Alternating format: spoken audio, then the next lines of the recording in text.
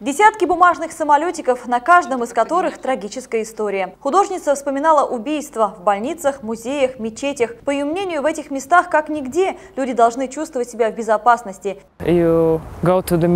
Вы идете в музей, чтобы насладиться искусством, и это ужасно, когда там ваша жизнь обрывается. Сейчас я стою на краю и надеюсь, что мои самолетики все будут лететь и лететь, но в один момент, когда они приземлятся, все закончится.